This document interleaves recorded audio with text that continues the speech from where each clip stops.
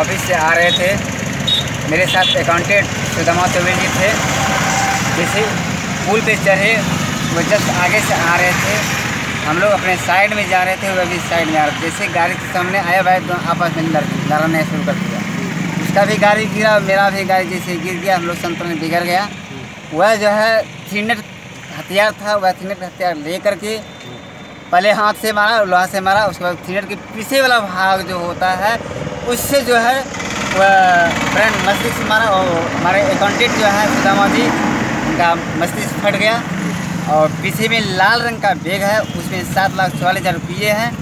और हम लोग संभल नहीं पाए वह गोली नेट दिखाना शुरू कर दी हम सब पे। हम लोग संभलते संभलते वह बैग लेके बाहर दिया कितना पैसा था?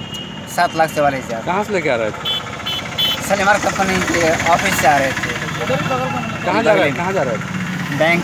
S B I S B I bank में आपका क्या नाम है हैं आपका क्या नाम है मेरा नाम विपिन कुमार